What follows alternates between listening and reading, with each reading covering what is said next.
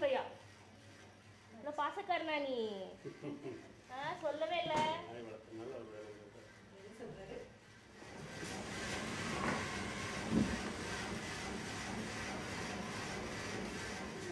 வேண்டாம் போகலை டிஸ்டர்ப் பண்ணாமல் நீங்கள் For a long time, I've really wanted to have dogs, like since my childhood, but somehow, uh, like for many reasons, we couldn't uh, have a dog for a long time.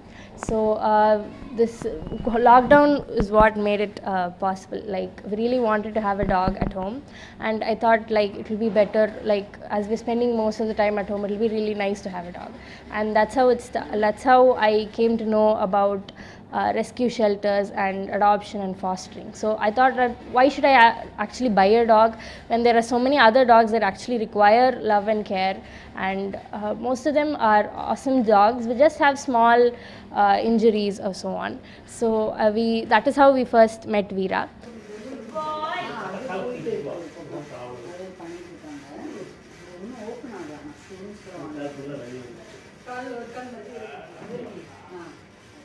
ஒரு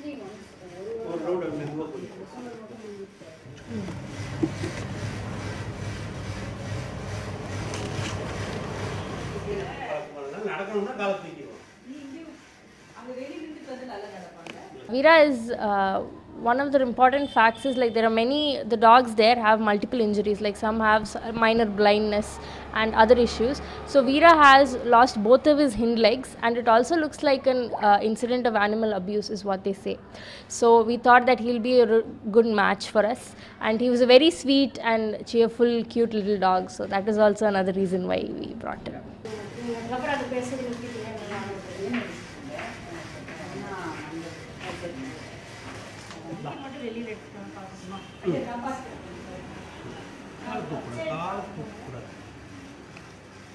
When he is here, I want to give that support so that he can become on his own. He can uh, independently walk and move around.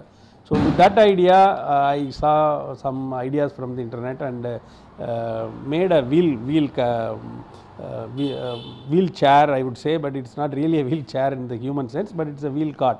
So that supports his back so that he can uh, very comfortably walk with his front legs. Front, he normally, uh, with difficulty, he is able to walk with only two legs, uh, the front legs, with the, while lifting his back.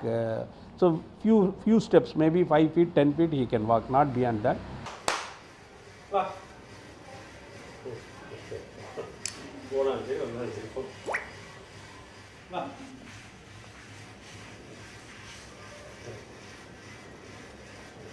Look at it.